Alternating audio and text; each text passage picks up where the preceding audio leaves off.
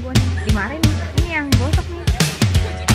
Dibalik balik balik di belakang nggak apa lah sepi enak bisa memilih.